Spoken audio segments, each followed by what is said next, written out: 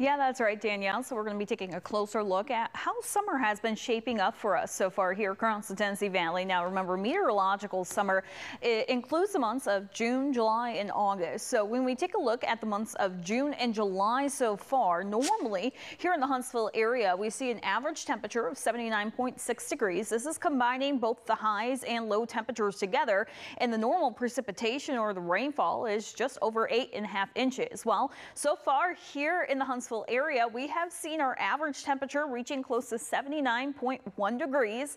And then for our rainfall, we're close to 8.8 .8 inches of rain so far this season. So you may be wondering, how does this compare to this time last year? Well, we are certainly seeing much more rainfall compared to last year, but temperatures have been slightly cooler than what we saw last year. And in comparison with the rainfall wise, we are nearly five and a half inches more on the rainfall scale this year year, five and a half inches higher than what we saw this time last year, but our temperatures are slightly cooler than what we saw last year. So something that we're going to be continuing to monitor. Now, remember the seasonal statistics and the seasonal stats for the entire summer meteorological summer.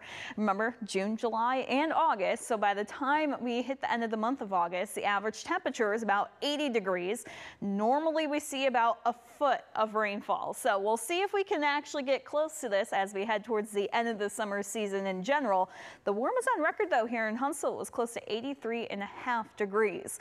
If you want to know more about this and even into other locations across the Tennessee Valley, I'll have an article up on WHNT.com.